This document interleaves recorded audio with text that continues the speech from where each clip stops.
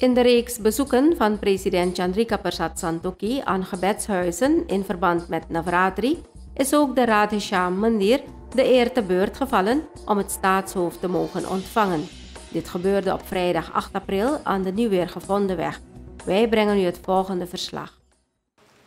Mijne mensen, we hebben zoveel boodschappen gehoord tijdens Navratri. En natuurlijk ben ik vanavond hier met een boodschap gekomen.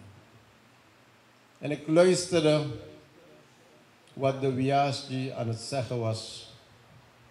Hij heeft een heleboel dingen gezegd.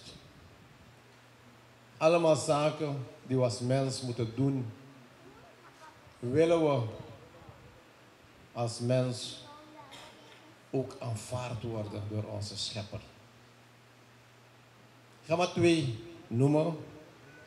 Vyasji heeft gezegd, कि हम लोग अपन जीवन में इतना चिंता करता हूँ चिंता उस प्रॉब्लम के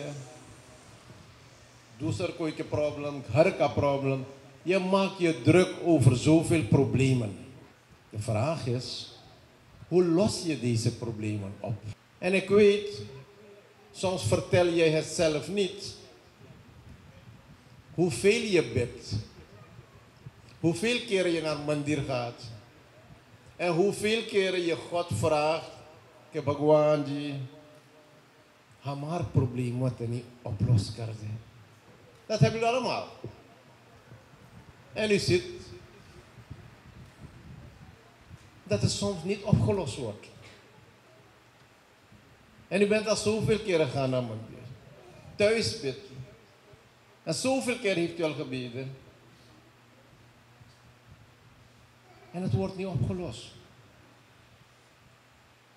Waardoor je soms teleurstelling zou kunnen krijgen. Van man, Bhagwan toch maar binti nasune. De oplossing kan zijn, en ik geloof in die oplossing, omdat ik dat als oplossing voor mezelf hanteer bid een keertje niet om jouw problemen opgelost te krijgen, maar bid een keertje dat iemand anders probleem opgelost wordt. Dan gaat u zien dat uw probleem opgelost wordt. Jai Durga Lakshmi Saraswati Sai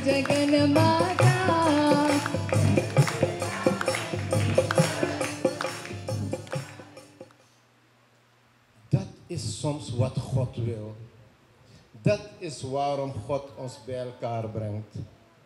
Dat is wat die Vyasji zegt. Haal kroot weg. Haal gussa weg. Haal die jaloezie weg. Haal die haat weg. Haal die boosheid weg. Haal die hebzucht weg. Geef liefde. Geef piaar. Geef respect.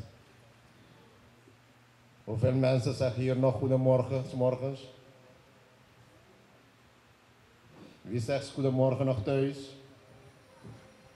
Wat kost het? Nul cent. Die dingen moeten terug. En COVID heeft ons een waarschuwing gegeven.